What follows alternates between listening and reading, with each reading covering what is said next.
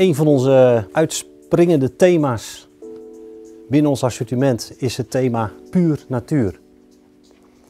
En we noemen dat puur natuur omdat we in dit thema, in dit interieur, in deze stijl met heel veel natuurlijke, overwegend natuurlijke materialen werken. Om te beginnen bijvoorbeeld op de wand hebben we een hele mooie Italiaanse krijtverf gedaan. Je kunt het streepeffect goed zien, geeft een hele mooie natuurlijke uitstraling. Daarnaast zie je hier uiteraard uh, het hout, het oude hout, gerecycled hout, uh, wat weer hergebruikt wordt uh, in de kasten, in de tafels en in de kleine elementen. Wat ook echt een natuurlijke uitstraling heeft, zijn de stoffen die hier gebruikt zijn.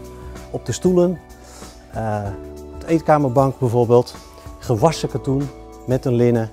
Geeft ook een hele mooie, zachte, natuurlijke uitstraling. Verder is dit afgestyled met oude materialen, zoals bijvoorbeeld uh, oude kaarsenstandaards uit Nepal.